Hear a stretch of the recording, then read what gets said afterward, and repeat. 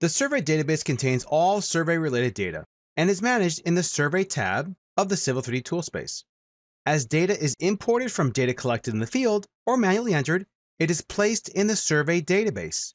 Depending on the survey user settings, this data may also be inserted into the current Civil 3D drawing or may subsequently be inserted into any Civil 3D drawing.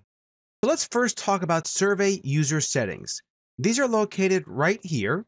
And if you click on them, this will open up the Survey User Settings dialog box.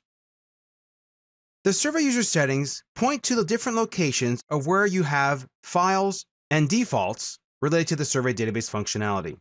It also controls how graphics are inserted into the file and if they should be inserted into the file as you are importing survey data. So if you look here, you have things like the survey database default, the equipment default database, the line processing default, where your figures should be stored, and so on. If you'd like to export these out to a totally separate file that you could then import, you can click the export and then navigate to a folder, and you would then have this to then import for other users. And of course, here's the import option.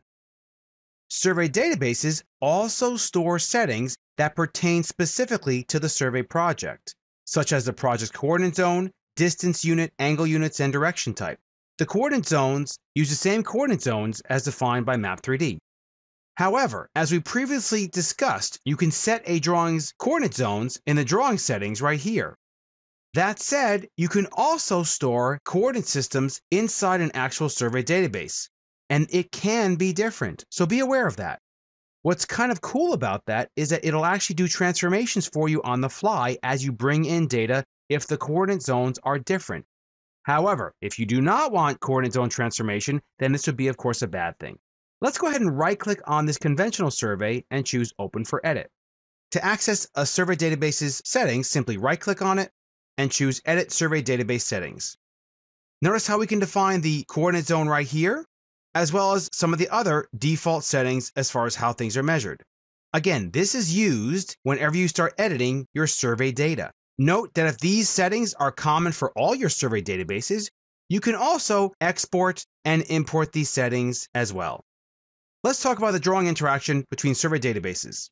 Let's go ahead and bring in this entire day's worth of conventional survey by simply right clicking on it and choosing Insert into Drawing.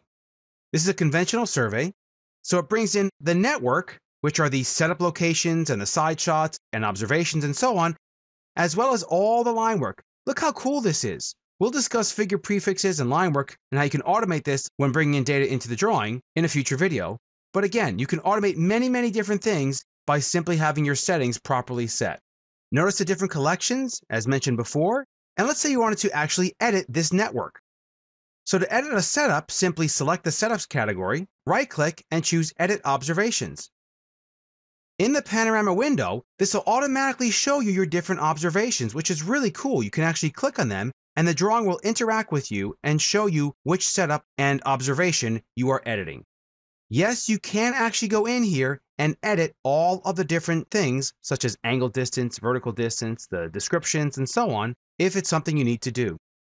One thing to mention as far as making edits to the survey database as long as you have this turned on, you can look at the logging that will occur as you make edits. To view the logging, simply right-click on the survey database and choose Display Change Report. This will open up in your default browser and tell you everything that you have done to this survey database.